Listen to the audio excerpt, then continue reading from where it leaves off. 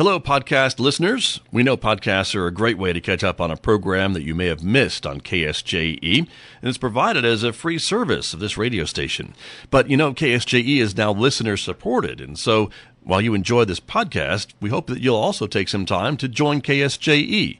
Become a member today. It's quite easy to do. Just go to our website at ksje.com slash support and pick the level of support that best matches your budget. Thanks again for listening. Here's your podcast. Joining me now in our visual radio studio to talk a little bit about the upcoming Animas Valley Balloon Rally in Durango. Mary Hayes is here, one of the committee members. Mary, welcome to KSJE. Good to have you here. Thank you. You have been involved with this rally for since its inception, right? Yes, for, for several years. A number of years, and so uh, so this is happening on the third weekend of October, right? Yes, it is. And it'll be uh, happening up in Durango, and so the pictures that we're going to show everyone in a minute who are watching us on Facebook and YouTube are really wonderful. They're from a calendar project from a year ago, right? Uh, the calendar's been going for a while. Okay. And uh, so this year's calendar will feature photos from last year's rally. Right. And uh, Yvonne Lashmet, who was the um, uh, Durango trained photographer for many, many, many years. Right. Does this. Okay. And it's beautiful. And uh, and then you are wearing a button, or I'm sorry, a button, a pin they're going to kick me out of the ballooning ca- um, category here. A pin that you brought, and we're showing that also because that's another great example of this rally because it's so unique having it in the mountains in Durango. It is beautiful, um, the fall colors and all, and uh, so we do have this pin that people can get. Yes, and so that's one of the souvenirs that's available. This calendar, I know, is another um, product that will be produced from the uh, rally, right? That's at the right. rally. And there may be a few other items, and we're going to have a table set up at each launch and at each glow um, uh, near the table where um, the music will be happening from. Okay. So people can buy pins for five and calendars, I think, are 12. There might be some other like shirts and things there too. Right. And this is uh, again coming up October 18th through the 20th in uh, in Durango and where do people gather? I mean, where is the launching point? The launch field is north of town it's um, at the turnoff to Animas Elementary. So, uh, but but what I really need to convey here is about parking. Yes. Yes. That's important for any balloon rally, I think. Very important. And for the safety of people coming to see it, the safety of those who are involved in this rally. So um, the public parking is in the field on the south side of Hermosa Meadows Road and 550. Okay. Um, and on Sunday and Saturday, they can park in the parking lot at Animas Valley Elementary, but not on school day Friday. That so is a no-no. All right. Don't do it then. Okay. But uh, it's a great place to park on Saturday and Sunday. Okay. Um, and uh, do not park along the highway. We, ha- we have done that in the past, but that's not safe. Right. And so uh, please don't park on the highway. Um, and so, since we're starting out early in the morning and, and fall weather is here, you know, wear warm clothes, tennis shoes or boots. Do not wear flip flops and sandals. That will not be cool. Right. Um, even if you think you'll look cool, it won't be cool. No, that's right. Um, bring a flashlight in the evening for the glow um, at the field. Um, we're having a glow on the field Saturday evening. Make Okay. sure you bring a flashlight for that. Uh, because when they are not glowing, things are very dark. So right. everything is weather, weather permitting. And uh, so we'll do our best and provide a wonderful event. Very good. I'm going to show a picture of a glow from um, maybe last year, year before. Um, but again, it's a it's a great event. This balloon probably may or may not be at the uh, rally this year, but another one like it, and they'll still be glows, right? Yes. They look so great when they're lit up like that. It, it's a wonderful thing. That is Humpty Dumpty, and he is not able to make it this year. But Okay. we will have a couple of balloons downtown in front of the train station down on that end uh, that will be glowing, and people um, just uh, come on down in there. Lots of people come to that. It's really fun. Our music guy will be there, and this merchandise will be next to the music table down there also. You kind of take over the town, don't you? This weekend, you're all over the place, right? Well, uh, especially during the glow on um, downtown on Friday evening. Uh, it really packs that, and so people need to get their cars off of the in that that whole area that mm-hmm. are parked in there. There'll be signs up, you know, don't right. park after whatever hour, and that's a serious thing, especially in that lot that's at the uh, at the big curve uh, as main curves around uh, there in front of the train station. That one um, is real important that people clear out of there because that's the place where one of that's where it takes place. Will, one of them, uh, yeah. one of them will blow okay. from that spot. Very good. I want to show a couple other photos again. These are wonderful photos of the. Balloons and they're so colorful and it's so pretty um, again in october with the foliage turning and the bright blue skies that we enjoy and on that photo, you can see that wispy look. That's the end of the flame uh, going oh, right. in there to, to heat the air.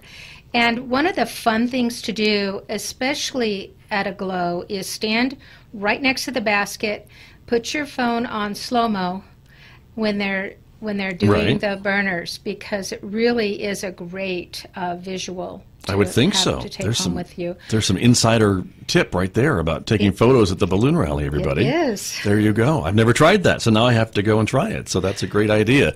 And then, of course, you couldn't have a rally in Durango unless you're flying balloons near the train, and the train ro- rolls right through the field there, right? The open valley. We launch um, uh, right next to the tracks there, and it's it's really beautiful. And so once they launch, you know, hang around because uh, when the train does come by, uh, you'll be able to see the balloons and the train in the same view, and it, it's it's spectacular, and it's a very unique thing, and we're lucky to be able to get that. Right, exactly. And there's another photo again from uh, from an earlier calendar. But again, as we mentioned, um, another calendar will be produced from photos from this year's rally, and there'll be calendars available for 2020 at this year's rally. That's right, and that uh, that's Tim's photo, Tim Wellsworth. Uh, so Yvonne invites other people to contribute photos to the calendar, and his was uh, one of the ones that was put in a previous calendar, and it's a very nice shot. Right, and so um, I know you've been working at this rally for a while, and you know the balloon meister, um, who's been at the balloon rally too. And so, are there anything that's really different about flying at this rally than maybe like in Bloomfield or in Albuquerque? Did the air currents um, do different things around the mountains? I would think they would. They do, and um, so when you're in a mountain valley, that that's a whole different dynamic. And at the pilots' briefing, that's discussed. These balloons that show up to this rally are by invitation only, which means they they know this valley and um, are less likely to get in trouble because sure. the balloon can't go certain ways. I mean, if it does, um, it, it's it's really not a good thing at all. And so, uh, but they are so experienced they can control that or watch for that because I know there are certain signs that a balloon pilot will watch for to know what the air currents are at the different elevations, right? As they're floating around up there? Well, um, the weather report is the first thing, and mm-hmm. then the first balloon that goes off is a pretty good uh, uh, pace setter, yep. and uh, you watch. They watch that, and they set off the pibal before they launch. Anyway, that's the helium-filled black balloon that mm-hmm. shows at what elevation wind currents will change, because you can control your flight going up and down and where the wind goes, and that's it. So uh, there, those um, techniques um, are how the pilots manage this, and um, almost always we go to the south from the launch point. So um, uh, very rarely does anything go north. Right. It, but it all depends on the winds, of course. And it, but that's it, where the prevailing winds flow, I guess. In that is. valley. It's a drainage, um, yeah. and when the sun starts rising, you know, it's a little blustery. You watch the tops of the trees or flags, and you'll see trucks that have flags um, up on the back there. It helps them to see how much. And the launch cannot happen if the breezes are greater than a certain number seven or eight or whatever the number is. So, right. Which um, is why you do it so early in the morning. I know when the winds are normally fairly calm. This is true, plus temperature. So mm-hmm. um, the cooler it is, the longer you can fly. And the hotter it is, and when your lift is based on the difference between the temperature of the air inside the balloon versus the outside, they give you the lift and all, um, it can't get more than a certain temperature before the heat inside the fabric starts damaging the fabric of the balloon. So- Right.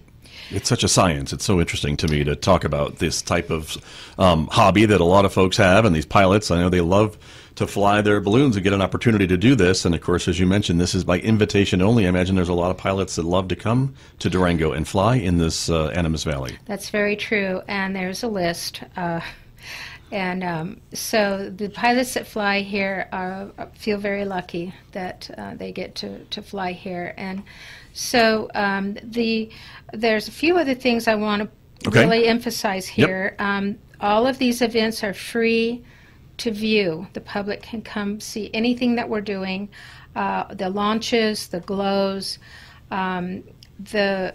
I've already talked about the Friday night. The glow will be downtown, and Saturday evening the glow will be um, at the launch site uh, for the morning launches, and um, so you know, be at those places. You know, six six o'clock for the downtown one and you know by 6.30 for the it depends on how much of the setup you want to watch. So Right, you know sure. don't hesitate to go out earlier. Okay. um, people um, it is possible to be asked to jump in and get a ride.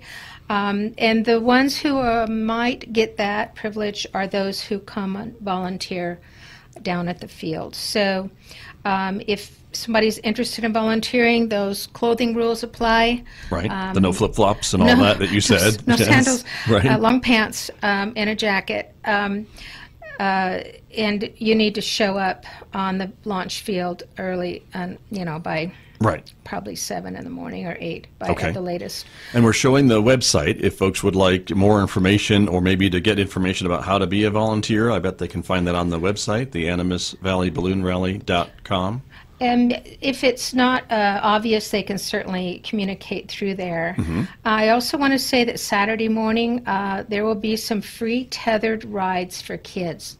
Tether means um, it's tied off. It it'll rise up, but not very far. Right. And it comes it right comes back down to the ground. That's right. Yes, sir. And then um, out on the field and um, at the glows, uh, there's going to be a T-shirt truck. It's called T-shirts and Things, and they'll be doing rally shirts. And then we're having a glass blower come in from um, that Doug met at another rally, and he's gonna. It's called Solar Flare Okay. glass, and he's going to do glass blowing demos, and I'm sure he'll be selling uh, glass balloons.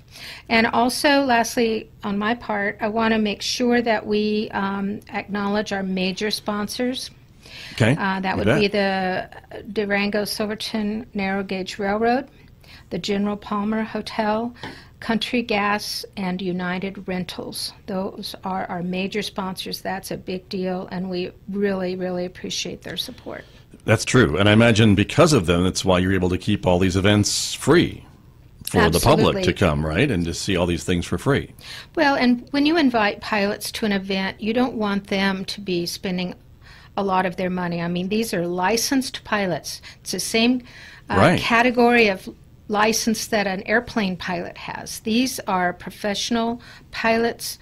Um, some of them are commercial. A lot of them probably are. Um, and so the less they have to be out of pocket, Right. the the better it is uh, for everybody, and we're able to um, feed them a lot, and we put together amazing pilot packs for each pilot, which is donated items that they just love, and Sure. um, and then hotel rooms, and we s- appreciate all the hotels that have donated rooms towards the pilots. So. right. I imagine you cut them a pretty good deal with the propane too, their gas, right? Well, Country Gas donates Well, there you go. propane, Even better. all of it. So they're they they just can't wait to come and do this for us, and we just love them to pieces for it. And they get a nice hotel room too. So uh, it's a wonderful um, event, and it's you know like it's so. Uh, open and free to the public. I, I can't imagine why anybody wouldn't want to come down there and enjoy it. I think they should. So mark your calendars, everybody. It's coming up October 18th, 19th, and 20th in uh, Durango, uh, the Animas Valley Balloon Rally. And again, the parking is going to be, um, remind us about the parking again, because on Friday, you've got to stay away from the school parking lot. That's right. So um, those two no's is don't park on the highway and Friday don't park at the school. Right. Uh, the major parking uh, word is um, on the field, in the field on the south side of Hermosa Meadows Road and Highway 550. So there will be people in yellow vests to help direct Okay. uh, parking, but they're not going to be running around on Highway 550 saying don't park over there. So um, that might be um, law enforcement that might Right. I don't know, but uh, don't park on the highway. Park uh, on the south side of the Hermosa Meadows Road and Highway 550. Okay. Very good. And you know, um, there's a Facebook page too for folks who love Facebook. You can search for um, Animas Valley Balloon Rally or just go to, pardon me, facebook.com, Animas Valley Balloon Rally, and you'll find it. And there's lots of good photos on the on the website. All, all this information about what time the events are and where to go. It's all right there. Um, it, it's a very nice website, and um, we hope people will connect with that and with this event. It's a very lucky that we can have this. So Durango has two balloon rallies every year. Right. Snowdown, That's right. the end of January, and then this one in the fall, which is just beautiful. I'm going to go out on a limb and say this one's warmer than the It Snow is- Rally. It is warmer, and you see lots of deer and elk, and uh, right. so you know those who get to fly fly over all kinds of wildlife and beautiful colors, and it's it's amazing. It's going to be great. Well, Mary Hayes, thanks for coming in to tell us all about it. Appreciate it. Thank you for having me. You're very welcome. That's Mary Hayes, everybody. She is one of the committee members for the Animas Valley Balloon Rally coming to Durango in October. I'm Scott Michlin. I'll be back with more in just a moment. Did you enjoy that podcast? We hope that you did. And if you did, share it with your friends. And if you really want to keep podcasts like this coming, please support KSJE. You can do it easily online at ksje.com.